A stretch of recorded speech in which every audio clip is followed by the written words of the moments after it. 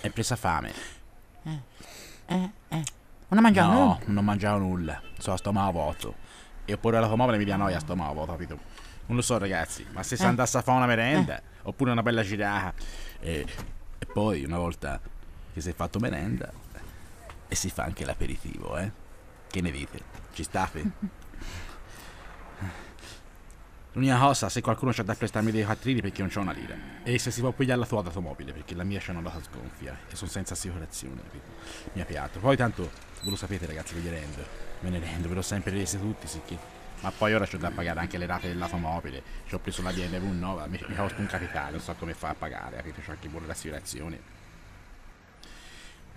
E non lo so, se qualcuno mi può fare il piacere di pagarmi almeno mezza rata, non dico tutta, almeno mezza, almeno mezza, capito? Tanto più avanti, più avanti.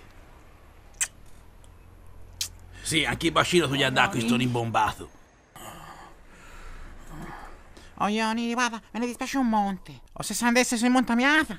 Sì, andiamo ai Cippe Pare, dal nipote della Maria, della pupilla, la presente, su in Montamiata. Lì c'è tranquillo, non c'hanno le macchinette per giocare. Si sta in fresco, a fare un aperitivo, si mangia qualche cosina. Po- ma poi c'è gang, c'è il piano di, di c'è- ci si diverte, c'è giovani, capito? C'è giovani, ammazzi. La presente in dove lei?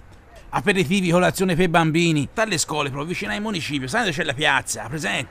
Viale Gramsci 151.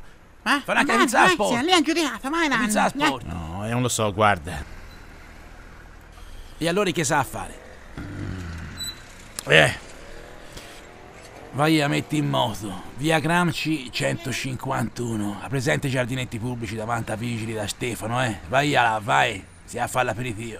Cippe Barri, in viale Gramsci 151 sui Monti Amiata, Osso, Pian in provincia di Siena 0577 78 52 15. Pizza Itaglio, trasporti a domicilio, colazioni, dolci e salate, aperitivi e merende, oso. Vi si aspetta ai Cippe Barri da Stefano.